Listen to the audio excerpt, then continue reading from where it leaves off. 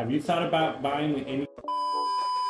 Have you been considering the Anycubic Kobra 2 Max? Hey there 3D printed fam! It's been an exciting month with the Anycubic Kobra 2 Max and today I'm thrilled to bring you a one month review of this incredible 3D printer. Let's dive into what makes the Anycubic Kobra 2 Max a standout 3D printer after a month of rigorous testing. First, its enormous build plate measures 420 by 420 by 500 millimeters, allowing you to tackle large scale prints with ease. The printer boasts an impressive speed of up to 500 millimeters a second, making it one of the fastest desktop printers out there.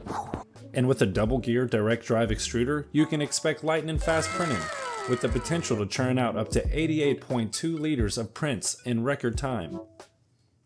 Anycubic's LeviQ 2.0 brings a game-changing feature to the table with its 49-point auto-leveling system. I've had a chance to see how it simplifies initial setup and ensures your prints start out on the right foot. Now after a month of using this printer extensively, let's talk about some of the cons I've encountered.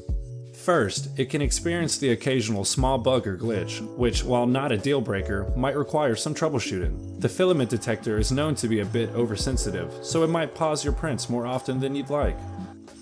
Lastly, the printer's substantial size means you need a large, stable space to accommodate it. But don't worry, during this month of testing, I've also come up with a solution for that.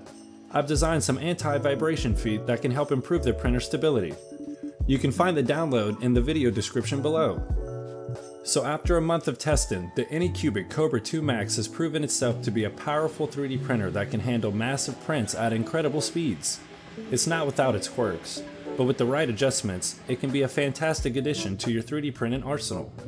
If you're interested in learning more about this printer or want to see my future updates, make sure you subscribe and check out the links in the video description for additional resources. Thank you guys for watching.